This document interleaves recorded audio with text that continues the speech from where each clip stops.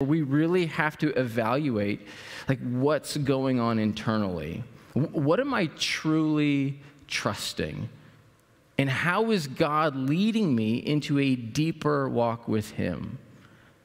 And really, like, here's why we do this. At, the end of the day, why Christians should be the most generous people on the planet is because that's true of who Jesus is.